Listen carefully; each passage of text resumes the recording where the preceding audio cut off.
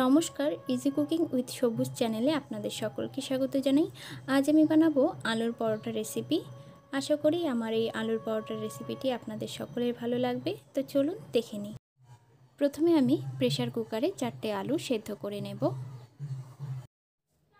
আলু সেদ্ধ করা আমার হয়ে গেছে। এরপর আমি আলুর খোসা ছাড়িয়ে নিচ্ছি।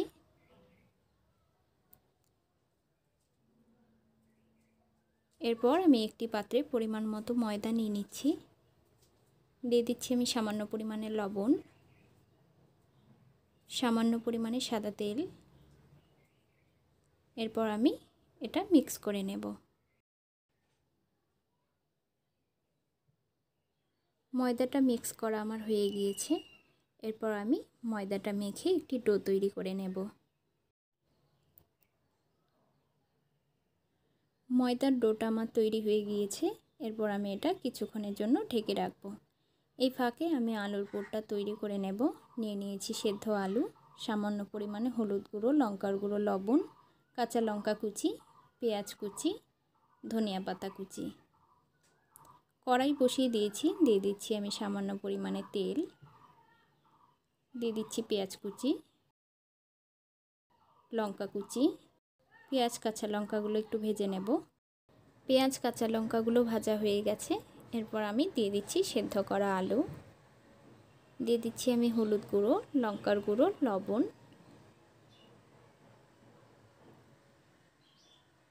এরপর আমি আলুগুলো এভাবে ভেঙে দেব।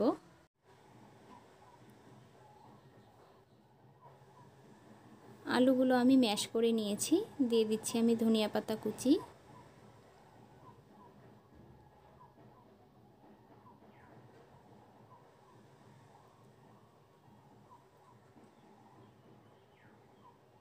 আলুর পুরটা আমার তৈরি হয়ে গিয়েছে, এরপর আমি নামিয়ে নেব। এরপর আমি আলুর পরোটাগুলো বেলে নেব।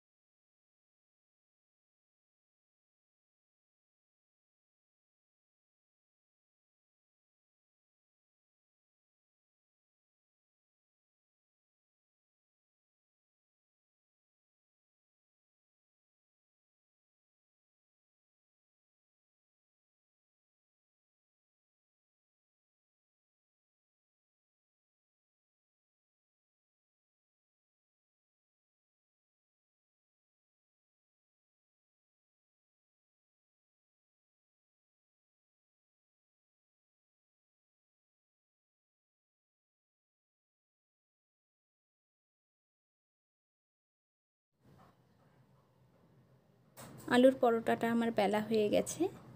এরপর আমি কড়াই বসিয়ে দিয়েছি, দিয়ে দিচ্ছি আমি তেল। এরপর আমি পরোটাগুলো ভেজে নেব।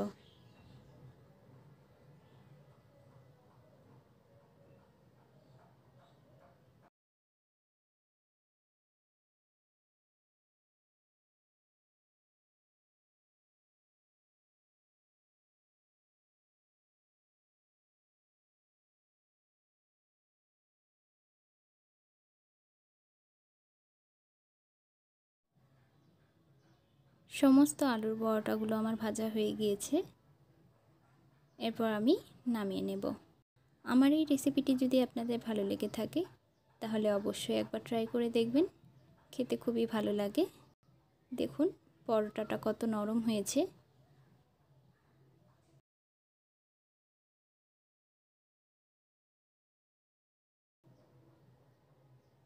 আমার এই রেসিপিটি যদি আপনাদের ভালো লেগে থাকে তাহলে প্লিজ লাইক কমেন্ট শেয়ার এবং চ্যানেলটিকে সাবস্ক্রাইব করবেন। আজ এই পর্যন্তই। দেখা হবে পরবর্তী ভিডিওতে ভালো থাকবেন, সুস্থ থাকবেন। নমস্কার।